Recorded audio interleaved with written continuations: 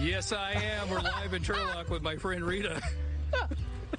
It's almost like American Gothic now. I know it is very American Gothic. Uh, we're going to show you the Barbie Bones Yard. This is so funny. I love this so much. Find out about the reaction. I'm telling you, people are going nuts for this.